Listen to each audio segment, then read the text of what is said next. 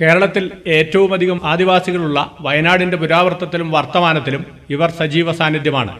ദക്ഷിണേന്ത്യയിൽ കുറഞ്ഞ ഭൂവിസ്തൃതിക്കുള്ളിൽ ഏറ്റവുമധികം ഗോത്ര ജനജാതികൾ തിങ്ങിപ്പാർക്കുന്ന നദീതടമെന്ന പ്രത്യേകതയും കബനിയുടേതാണ് വയനാടിന്റെ ഭൂതവും വർത്തമാനവും ഭാവിയുമെല്ലാം ചർച്ച ചെയ്യപ്പെടുമ്പോൾ ഇവരെ മാറ്റി നിർത്താൻ കഴിയില്ല.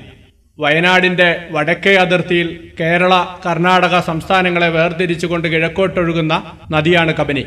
കബനിയുടെ കർണാടക തീരത്തുള്ള ദൊഡ്ഡബൈരൻകൊപ്പ ഗ്രാമത്തിൽ വർഷങ്ങളായി ആഘോഷിച്ചു വരുന്ന മൂര്യബ്ബ അഥവാ മൂരിചാട്ടം ഏറെ സവിശേഷതയുള്ള ആഘോഷങ്ങളിലൊന്നാണ് കാലങ്ങളായി ദീപാവലിക്ക് ശേഷം വരുന്ന അമാവാസിയുടെ പിറ്റേ ദിവസമാണ് ഇത് ആഘോഷിക്കുന്നത്. കർണാടക വംശജരും ചിത്രദുർഗയിൽ നിന്ന് ഏതോ നൂറ്റാണ്ടിൽ ഇവിടെ എത്തിയവരുമായ വേടഗൗഡ വിഭാഗക്കാരാണ് ഇതിന് നേതൃത്വം നൽകുന്നത്.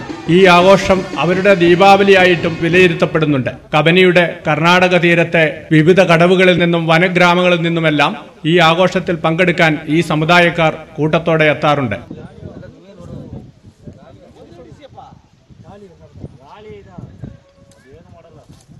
അണിയിച്ചൊരുക്കിയ കാളകളെയും വാദ്യമേളങ്ങളുടെയും കരിമരുന്ന് പ്രയോഗങ്ങളുടെയും നാടോടി നൃത്തങ്ങളുടെയും എല്ലാം അകമ്പടിയോടെയാണ് ഇവർ ദൊഡ്ഡബൈരൻ കുപ്പയിലെത്തുന്നത്. ഓരോ കടവിലും അതാത് സംഘാംഗങ്ങൾ കബിനി നദിക്കരയിലെത്തി എണ്ണത്തിരി തെളിച്ച് കബിനിയെ വണങ്ങി കാളകൾക്ക് ആരതി ഒഴിഞ്ഞാണ് ഇവർ മുമ്പോട്ട് നീങ്ങുന്നത്. കടഗദ്ദ ബാവലി ഷാണമംഗലം ബൈരക്കൊപ്പ മച്ചൂർ ചേകാടി ഗുണ്ടറ തുടങ്ങിയ ഗ്രാമങ്ങളിൽ ഇത് വലിയ ആഘോഷമാണ്.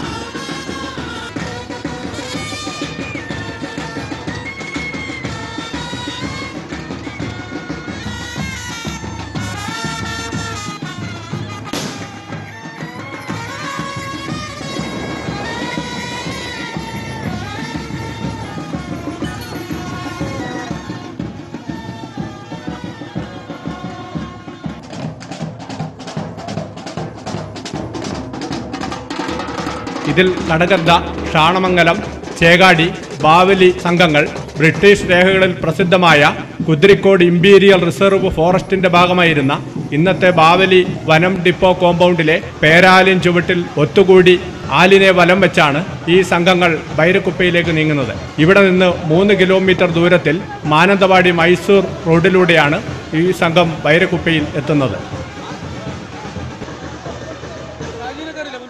ഇവർ സ്വന്തം കൃഷിയിടത്തിൽ നിന്നുള്ള വിവിധ തരം ധാന്യങ്ങളും നാളികേരം വാഴക്കുലകൾ തുടങ്ങിയവയും ക്ഷേത്രത്തിൽ കാഴ്ചയായി സമർപ്പിക്കാറുണ്ട്.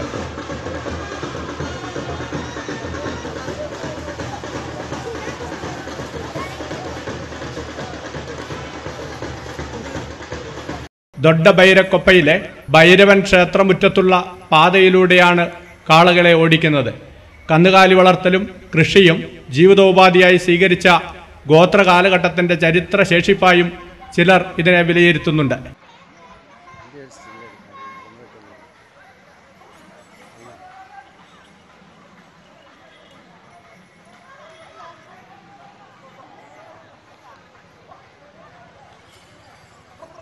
ഇവിടെ ഇവിടെ നമ്മുടെ തട്ടുകയല്ലോ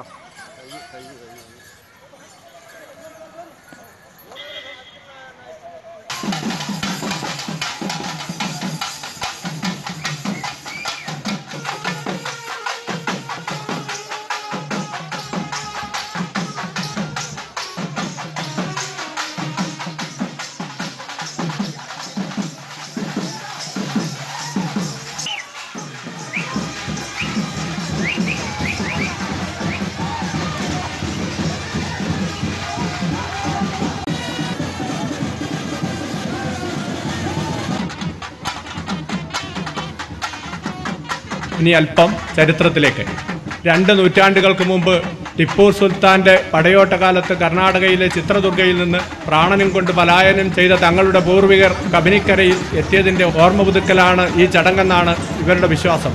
എന്നാൽ ചരിത്രകാരന്മാർക്കിടയിൽ ഇക്കാര്യത്തിൽ ഭിന്നാഭിപ്രായമാണുള്ളത്. എ ഡി ആയിരത്തി മുന്നൂറ്റി തൊണ്ണൂറ്റി ഒമ്പതിൽ ഡൽഹി സുൽത്താനേറ്റിലെ ബാഹുമനി സുൽത്താൻ ഫിറോസ് ഷാ വിജയനഗരം രാജാവായിരുന്ന ഹരിഹരൻ രണ്ടാമനെ യുദ്ധത്തിൽ പരാജയപ്പെടുത്തുകയും ലക്ഷക്കണക്കിന് ജനങ്ങളെ കൂട്ടക്കുരുതി നടത്തുകയും ചെയ്തപ്പോൾ ചിത്രദുർഗയിൽ നിന്ന് തെക്കോട്ട് പലായനം ചെയ്തവരാകാം ഈ ജനസമൂഹമെന്ന് ശ്രീ മുണ്ടക്കയം ഗോപിയെ പോലുള്ള ചരിത്രകാരന്മാർ അഭിപ്രായപ്പെടുന്നുണ്ട്. ദീപാവലിയോടനുബന്ധിച്ച് തുലാം പത്തിന് നടക്കുന്ന ഒത്തിരി ആഘോഷത്തോടെയാണ് പുരാതന വയനാട്ടിലെ നെൽപ്പാടങ്ങളിൽ കൊയ്ത്തു തുടങ്ങിയിരുന്നത്. ഇതേ സമയത്ത് കബനിക്കരയിൽ നടക്കുന്ന മൂരിയപ്പയും ഒരു കാർഷികാനുഷ്ഠാനം തന്നെയല്ലേ എന്ന് ചോദിക്കുന്നവരുമുണ്ട്.